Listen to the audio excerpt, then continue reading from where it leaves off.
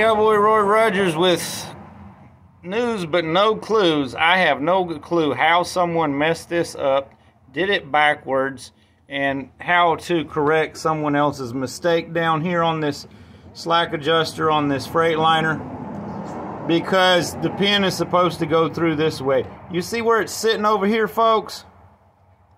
How's that supposed to come out? I've already taken the uh, E-clip off of here, the snap ring off and the washers out of the way and tried to slide the slack adjuster over and try to pry the brake rod over a little bit. And this is just a little Type 30 uh, piggyback. It's no spring brake. So there's no big, very strong uh, spring holding it or something. But still, it there's no room. There's no slack for it to move. So what I had to do, I got the other pin out. I backed the brakes way off. You can see the huge gap in here.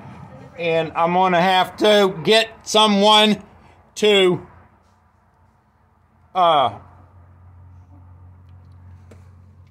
try to apply the brake pedal lightly for me while wherever in the world my punch went. Stick it in this darn hole and uh, punch it through there at the same time and hope that works. The point of this little video is would people please pay attention to what they're doing when they take things apart and do it right so it's easier on themselves and easier on the next person because this crap's ridiculous.